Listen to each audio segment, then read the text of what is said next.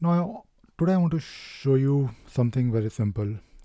If you're using automation rules and if you are not sure about the smart values, uh, there is a documentation that you can follow, a documentation, uh, uh, a page on the official Atlassian documentation where you can take a look at uh, all the possible smart values.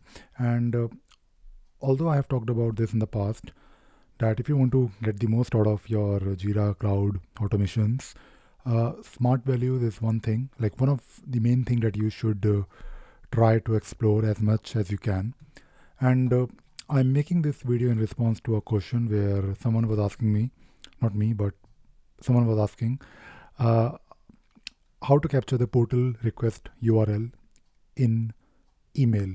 Now, the main thing that I wanted to uh, highlight here is the is the way to find out and figure out the portal URL. Now this question has been asked by Nagaraju Reddy and uh, he's asking here, I have a requirement to send email notification to group of customers when issue created in my service management project. When issue is created in my service management project, in that email, I need to capture portal request URL. Uh, we have this uh, with Jira default email customer not notification uh, but I'm using automations for Jira add-on. I use the following smart value, but uh, it captured Jira ID, not portal uh, portal request. Now, uh, if you look at uh, um, the page where you can uh, hopefully see the details, and of course, this is not just specific to this we, this question. I mean, in case you are trying to understand what all you can do with smart values, uh, there is a documentation and if you look at the documentation there is uh, there is uh, quite a lot that you can uh, refer. And uh, and if you want to of course understand if a specific thing can be accessed using smart value just do a control F or command F on this particular page. So we are talking about some kind of a URL so if we search for URL so yeah we do have issue URL uh, which is uh, quite obvious like you will get the url of issue but in case of jira service management you have one url which is of course uh, this one. Like if you look at this incident or whatever ticket you are referring to you have the url which is of course jira internal url but you you also have one uh, one external url that will take you to the portal. So portal is of course uh, a place for customers and uh, portal url is of course uh, the one that they need to access the request that they have access to. So basically, this URL is different.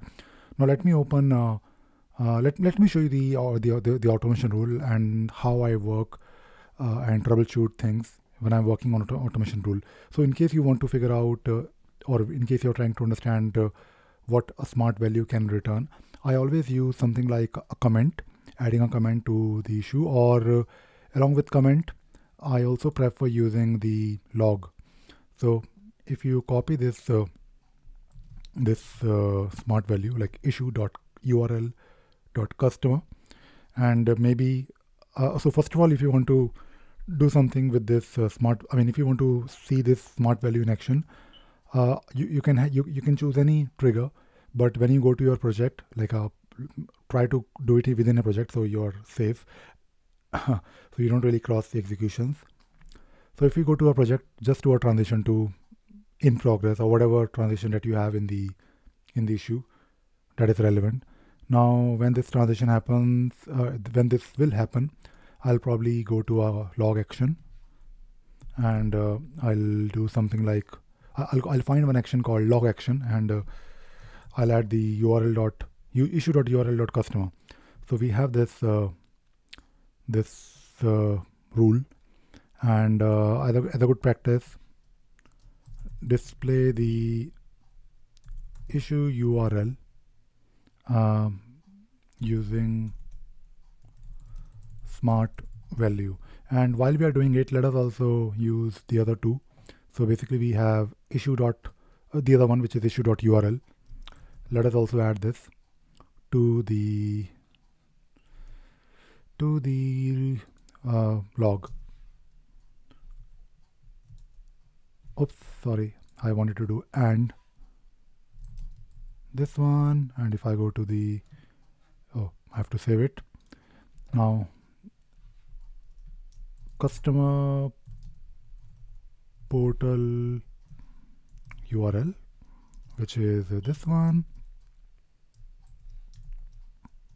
And we also have issue URL so let us save it I think I'll probably uncheck this prevent duplicates by adding only by only adding this comment once to a particular issue because we are doing a lot of testing.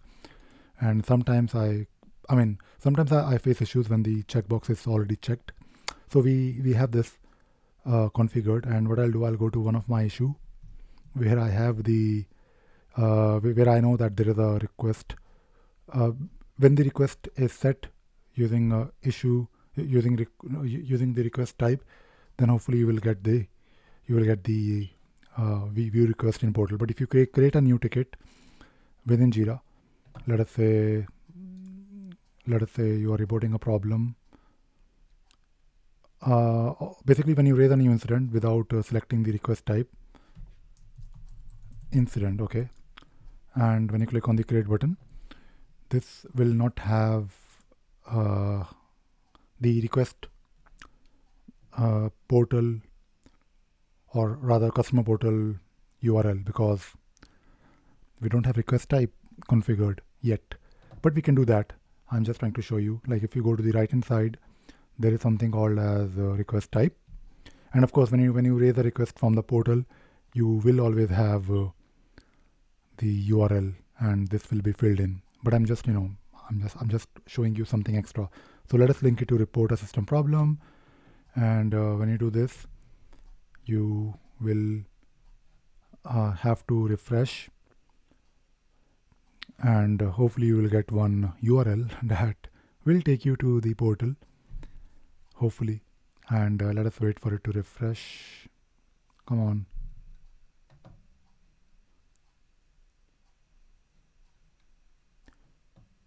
Yep, so now we can see that there is a link. Now to trigger this rule, we have to transition it, uh, transition this to um, not really.